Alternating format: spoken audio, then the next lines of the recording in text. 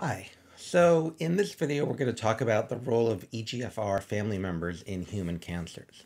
So in many human cancers, not all, but in many of them, one of the EGFR family members is mutated.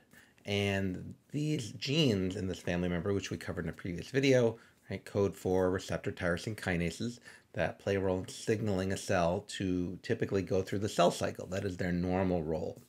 And so when they are mutated in human cancers, they are typically constantly sending that signal into the cell, and the cell thinks it needs to be going through the cell cycle all the time. So these are pro-growth genes. And typically when pro-growth genes are mutated, they are always in a constant state of activation. And so we refer to these genes as oncogenes, right? So the family members, you would call them proto-oncogenes when they're not mutated.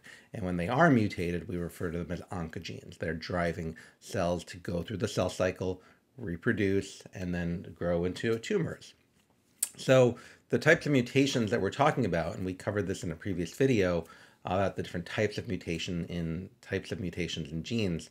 Um, for these family members, it could be uh, the mutation could be an amplification mutation. So one of these genes could be amplified. So you would have overexpressed protein, too many receptors being produced on a cell, and these receptors would um, run into each other and at a very low level would actually phosphorylate each other in a ligand independent mechanism. So um, having too many of these growth factor receptors on a cell can trigger their accidental uh, activation and phosphorylation that would allow the cell to think it needs to be going through the cell cycle. So in some human cancers, one of these family members is amplified, leading to overexpression of the protein and cells going through the cell cycle and dividing. Uh, other mutations are point mutations. So it could be a single nucleotide mutation that changes a single amino acid that now gets the protein, the growth factor receptor, to change its conformation in an active conformation. If you remember, these receptors are regulated by ligand binding. So when ligand binds, it allows the um, receptors to dimerize, they change their conformation, and their kinase uh, domain, which is typically in a low level state, goes to a high level of activity and can transphosphorylate uh, when they form the dimer pairs. A single amino acid change can change the conformation of the whole protein, uh, specifically the kinase domain, allowing it to have high activity even though there's no ligand present. So a point mutation can activate the kinase domain of these receptors.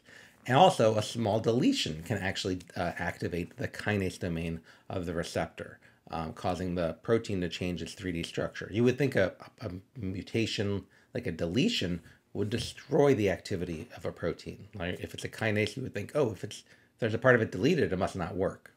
That's not true. If it's part of it's deleted, it, part it's not regulated properly. So that in that case, for EGFR family members, these small deletions lay, lead to the uh, incorrect activation of the kinase domain. So all of these mutations, when we talk about mutations in EGFR family members, these are activating mutations. They don't destroy the enzyme's activity, they activate it. In other examples we'll see in other videos, there are mutations that destroy an enzyme's activity. Um, but these are mutations that activate the EGFR family members. So um, if that's the case, then these cells are going to get phosphorylated on their tyrosines in the cytoplasmic tail of uh, the family members, sending a signal into the cell, and the cell will go through the cell cycle.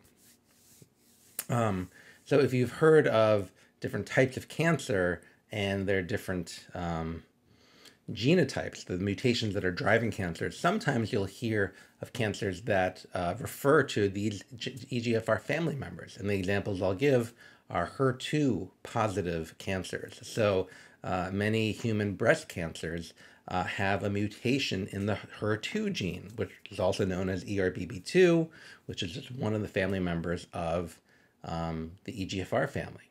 And so HER2 positive cancers refer to cancers where there's typically a mutation in the HER2 gene, it's typically an amplification, and this high level of HER2 is driving the cell through the cell cycle. Receptors are dimerizing, typically forming heterodimers, as we saw in the last video, which leads to phosphorylating of the tyrosines on the cytoplasmic tails of the EGFR family members, and the cells are going through the cell cycle. So when cancers are characterized as something positive or negative, it's referring to is there a mutation in that gene that is driving the proliferation of those cells. So a HER2 positive cancer has a mutation in the HER2 gene, and that mutation is probably leading to amplification. Uh, the mutation probably is an amplification of the gene, leads to overexpression of the protein, and you have uh, phosphorylation of those cytoplasmic tyrosines in the um, EGFR family member tails. A HER2 negative cancer would say that this gene is not mutated and the, this gene is not driving the proliferation of these cells. And so this would help uh, clinicians uh, design a treatment plan for that type of cancer. If a cancer is being driven by a HER2 mutation, it's HER2 positive, then it would make sense to have a treatment, and we'll talk about treatments that target the HER2 uh, protein. Whereas if it's a HER2 negative cancer, um, then uh, it would not make sense to target or treat that cancer with a drug that goes toward HER2. Uh, same thing with EGFR. You hear about cancers that are either EGFR positive EGFR negative. And again, that refers to is the cancer, does the cancer have a mutation in the EGFR gene and that mutation is driving the proliferation of the cells or is it not, there's no mutation in EGFR. Uh, and so that might again um, dictate what kind of treatment plan uh, the clinician goes with. So uh, not all human cancers, but many human cancers have a mutation in one of these family members. Now, it's possible that there are no mutations in EGFR family members, but still the uh, these receptors are driving the cell through the cell cycle because of changes in the ligands for these receptors. So remember, EGFR family members bind EGF, epidermal growth factor, or one of their similar proteins. So there are proteins that look and act like EGF. They can bind the ligand binding domain and cause dimerization and transactivation. So there's EGF, there's TGF alpha, there's a whole list of others, which we talked about in a previous video. And so some human cancers actually are driven by the overexpression of the ligands. So the cells are going through the cell cycle because there are too many of these ligands around, too many of these growth factors. So those are two common ways that the EGFR pathway is uh, activated in human cancers, either too many ligands or mutant receptors. So now let's talk about treatments that target uh, this pathway in human cancers. And there are two main categories of um, pharmaceutical compounds that would uh, treat cancers uh, that target the EGFR family members. So the first uh, are tyrosine kinase inhibitors. So we covered in a previous video that three out of the four of these EGFR family members are receptor tyrosine kinases. They have a tyrosine kinase domain. So when we talk about the tyrosine kinase domain, that binds ATP, removes the phosphate, transfers the phosphate to the dimer pair tyrosine, and that's going to signal into the cell to proliferate. So tyrosine kinase inhibitors, what they do typically is they bind that ATP binding pocket. They mimic ATP. Their structure is in such a way that it binds the ATP binding pocket, and either it's a competitive or non-competitive inhibitor, but either way, uh, ATP cannot bind, and therefore the kinase cannot phosphorylate its substrate, which is the tyrosines and the other um, dimer pair, and the signal will not go uh, into the cell because this tyrosine is not phosphorylated, and we'll cover that in a later video. Uh, and so cells are not going through the cell cycle. Cells will arrest. So uh, there are a number of pharmaceutical compounds that are approved for treating human cancers, and they are tyrosine kinase inhibitors that specifically bind to the ATP binding pocket of some or maybe all EGFR family members.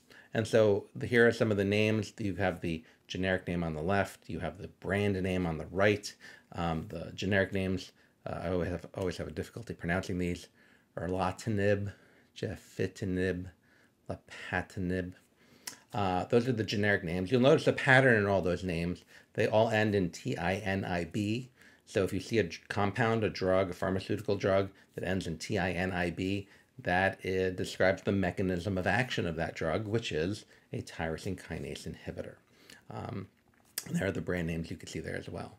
So these compounds will bind to the ATP binding pocket of EGFR family members um, and inhibit their activation. And so they can be used to uh, treat human cancers. Um, there's another category of drugs uh, called monoclonal antibodies.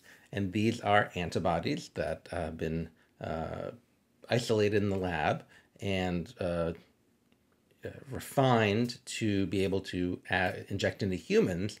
And these antibodies bind the uh, typically the extracellular domain, the uh, ectodomain of some or all of these EGFR family members.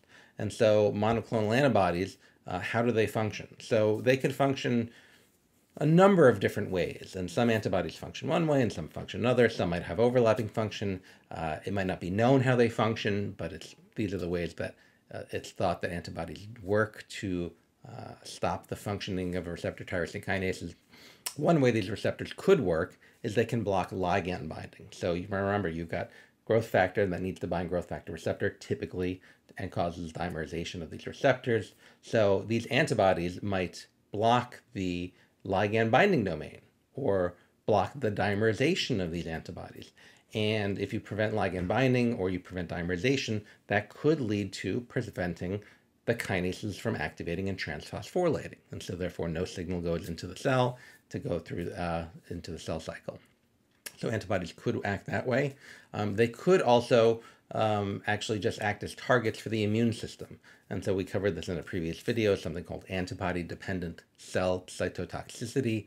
When uh, human cells are covered in antibodies, uh, that activates the immune system. Cells like natural killer cells can come over, recognize a cell covered in antibodies, and destroy that cell through something called antibody-dependent cell cytotoxicity.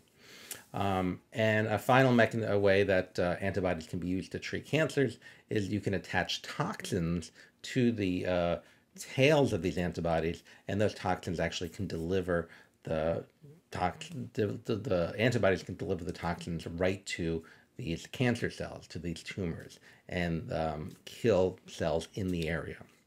So monoclonal antibodies that target EGFR family members have been used successfully to treat human cancers.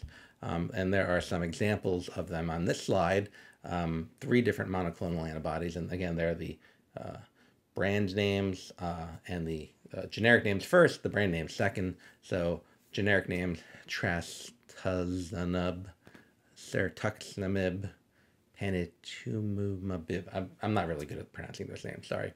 Um, but you will notice that all of those generic uh, drugs names, they all end in MAB. And again, that is a giveaway for the mechanism of action of this drug. It's a monoclonal antibody. So for these monoclonal antibodies, they target EGFR family members. You might have heard of Herceptin. Um, so the, the brand name actually has her in there and sort of like receptor in there. So that actually um, gives you a little bit more information on what the drug targets. And that actually, that antibody targets HER2. It binds the HER2 protein.